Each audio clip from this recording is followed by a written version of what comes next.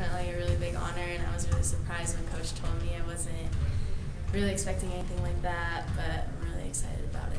My goals was my goals are just to be better and contribute more to the team this year than I did last year, and um, I feel like that our team has a lot of great additions, and I think that.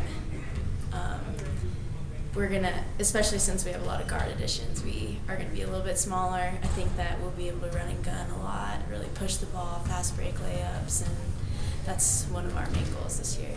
I think that they've done really well. We put in some plays and they picked up on it really quick. I think that the um, the biggest thing that their success is that they just work hard. Every single one of them works hard, and I think that the rest of the team also works hard, and it covers up for a lot. But I think that they're picking up defense really well. Our program, like what we run and everything, I think they're just picking up really well.